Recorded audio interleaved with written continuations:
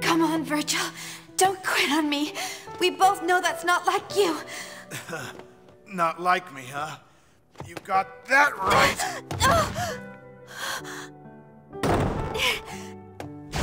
Virgil, what are you doing? Open up the door now! Please, just promise that you'll protect her. Don't be stupid, Virgil! You are coming with us! You know something? Even after all of this, I never got your name. Virgil! Ah!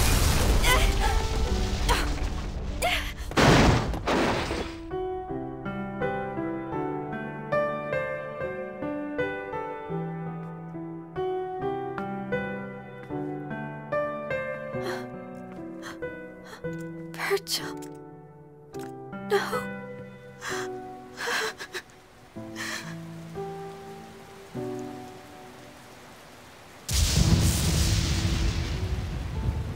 Ha